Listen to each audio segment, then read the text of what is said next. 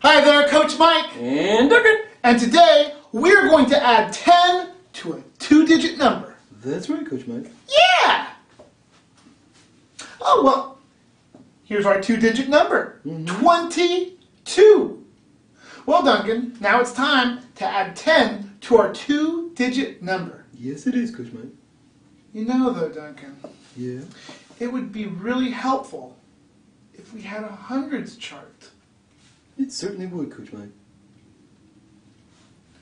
Duncan, we're in a hundreds chart! Yes, that would appear to be true, Coach Mike. All right, well, let's get started. All right.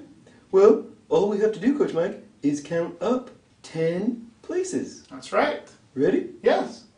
One, two, three, four, five, six, seven, eight, nine, ten.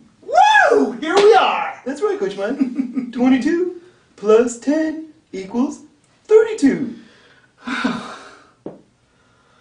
Whoa, Duncan, all, all that traveling is making me making me a little dizzy. Is there an easier way to do that? Well, there is, Coach Mike.